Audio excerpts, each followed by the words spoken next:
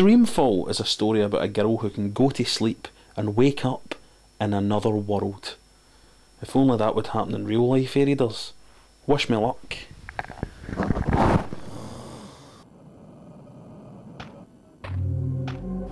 Oh, oh! I'm literally inside another world, the game, known in America as Out of This World.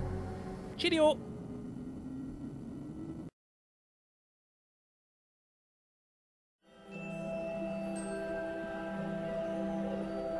They say that every story has a beginning and an end. That might be true in most cases. Sometimes, however, the two are one and the same. And that's my cue to put on my wank hat. The Longest Journey, the precursor to this game, was a big, big favourite of mine. Recognised in many places for its sophisticated storyline, sophisticated characters, probably the best realised character in video game history, April Ryan. Beautifully voiced, beautifully written. So this game had a hell of a lot to live up to. The good news is that this game not only lives up to the reputation of the previous game, it marries the longest journey's literary sophistication with a hell of a lot of bravery. The kind of bravery that we don't normally see within video games. Oh, oh, question one, Robert, question one. Is this actually a game? Well, the truth of the matter is that interactivity is very low. I mean, there are some fighting bits, but they're absolutely terrible. Fortunately, most of them can be avoided. What there is in this game is a lot of dialogue and a lot of little fetch and carry tasks to reach the next scene in the story. It doesn't sound great when I'm talking about it, but that's because you don't know what the story is. Ragnar Tornquist has done it again. Zoe Castillo is a fantastic character, the main character of the game. She's, well, she's very sophisticated. I know it's predictable, but she's very, very sophisticated. She's got a lot of doubts, she hasn't got many ambitions.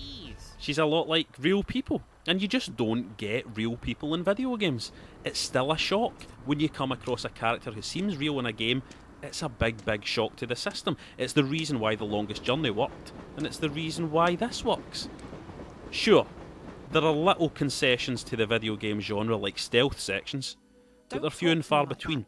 Most of this, as I said, is a story being told and a story being extremely, extremely well told. I told. told you, don't talk to me like that.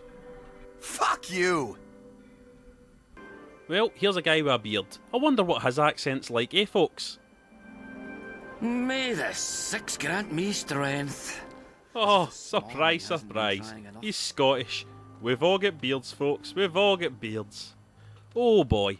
Ragnar Tornquist's world is populated with fantastic characters. Truth, every single character is unique, fantastic. And here's the thing his minor characters are good enough to be the lead characters in most other people's games. Why is that? Why is that? It's because, I feel, Ragnar Tornquist is a writer. And you don't get many writers working in games. You don't get many writers writing stories, writing characters, writing dialogue. And we need more of them. Because look at how much we enjoy a game like Silent Hill. Imagine how good that game would be if the dialogue was good, if the voice acting was good, if somebody cared that much to get all that stuff right, all the storytelling stuff right, just imagine how good that stuff would be. I want to get back to talking about the bravery of this game. Like a great book, like a great movie, Dreamfall leaves a lot of questions unanswered. And when questions are unanswered, you can really take a work into your heart because you can attach personal things to it. It can mean something to you. And that's Ragnar Tornquist's gift. He can create characters and worlds and stories that mean something to you. That's what Dreamfall is. What? And I think it's They essential. say that every story has a beginning and an end. That might be true in most cases. Sometimes, however, the two are one and the same.